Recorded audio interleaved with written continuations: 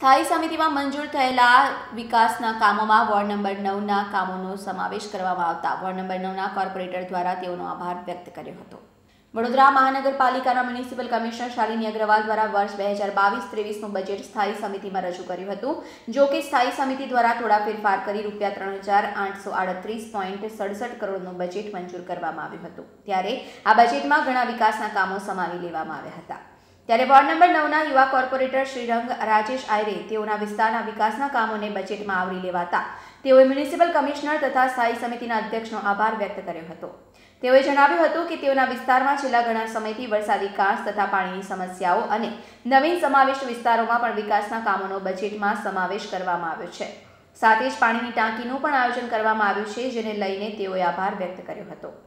આ વખતે ના બજેટમાં માનનીય ચેરમેનશ્રી તેમજ કમિશનરશ્રીનો હું ખૂબ ખૂબ આભાર માનું છું કે આ વખતનું જે બજેટ છે કરદર વિનાનું બજેટ છે.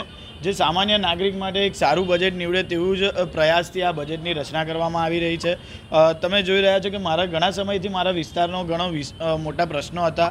જેમ કે વરસાદી કાસનો વિષય હતો તો તે સ્વર્ણિમના કામો દરમિયાન તે કામને સમાવી દેવામાં આવ્યું છે. વરસાદી કાચ એટલે કે લક્ષ્મીપુરાથી લઈને ગોત્રી તળાવને જોડતી જે વરસાદી કાસનો પ્રશ્ન હતો, જેના પર સ્લેબ નહોતો, તે કામને બી સ્વર્ણિમના કામમાં સમાવી લેવામાં આવ્યા છે. તેવી જ રીતના ઘણી ઘણા સમયથી મારા પિતાશ્રી દ્વારા પણ આ એક પાણીના મુદ્દે જે ગુરવા ઉંડેરા વિસ્તારોમાં પાણીની અછત છે, તે વિસ્તારને ધ્યાનમાં રાખીને જે દર વખતે વિષય લેવામાં આવતો હતો કે દશામા તળાવ પાસે આ વખતે બુસ્ટર પંપ તેમજ વરસાદી આપણે વરસાદી પાણીની ટાંકીનું વરસાદી કાસ તેમજ આ વખતે પાણીની ટાંકીનું પણ આયોજન કરવામાં આવ્યું છે. તેમજ વિષય નવાયન સમાવિષ્ટ વિસ્તારોનો છે. નવીન સમાવિષ્ટ વિસ્તારોમાં જ્યાં જરા પણ ડેવલપમેન્ટ નહોતું, તેને આ વખતના બજેટમાં આવરી લેવા માટે ત્યાં નળ, ગટર, રસ્તો એટલે કે વરસાદી લાઇન ગટર અને રસ્તાઓનું સારી સુવિધા મળે તે માટે આ વખતના બજેટમાં તેને પણ સમાવી લેવામાં આવ્યા છે.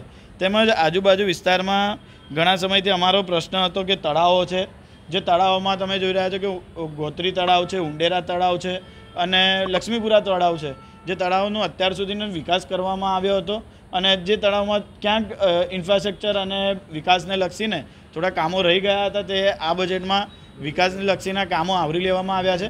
સાથે સ્મશાનોની વાત કરીશ કે સ્મશાનોમાં અમારી પાસે ગુરવા સ્મશાન હતું તેવી જ રીતના આવનારા સમયમાં જેવી રીતના ચેરમેનશ્રીની જાહેરાત બાદ અમારું ઉંડેરા સ્મશાન છે, લક્ષ્મીપુરા સ્મશાન છે સેવાસી સ્મશાન છે અને ગોત્રી સ્મશાન છે.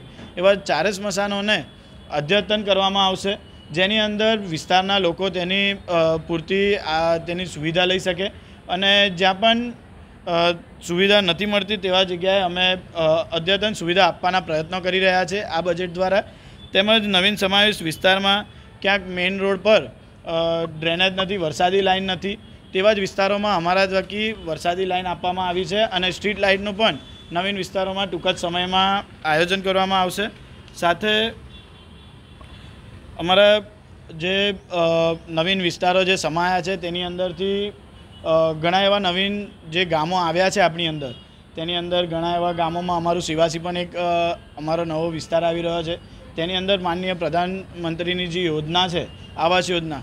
તેના અંતર્ગત જે સમગ્ર સમગ્ર નવીન ગામો આવેલા છે, તેની અંદર ત્રણ હજાર એકસો ને મકાનો આવાસો આપવાના છે. તેની અંદર અમારા સેવાસીનો પણ સમાવેશ કર્યો છે. તે બદલ હું માનનીય ચેરમેનશ્રી અને કમિશનરશ્રીનો ખૂબ ખૂબ આભાર માનું છું.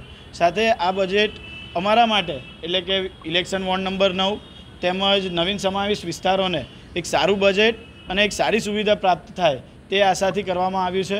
સાથે જ વિકાસ વડોદરાનો હોય કે સમગ્ર ગુજરાતનો હોય, તેને ધ્યાનમાં રાખીને સદાય ભારતીય જનતા પાર્ટી અને ભારતીય જનતા પાર્ટીના રહેલા સૌ ચૂંટાયેલી પાકના લોકો સક્ષમ છે અને એ જ કોઈ નાના વિષય હોય કે વિકાસલક્ષી વિષય હોય, તે વિષયને ધ્યાનમાં રાખીને જ આ વખતના બજેટ કેન્દ્ર સરકાર, રાજ્ય સરકાર અને અમારા વડોદરા કોર્પોરેશન દ્વારા પણ આ એક કરદર વિનાનું બજેટ આપવામાં આવ્યું છે.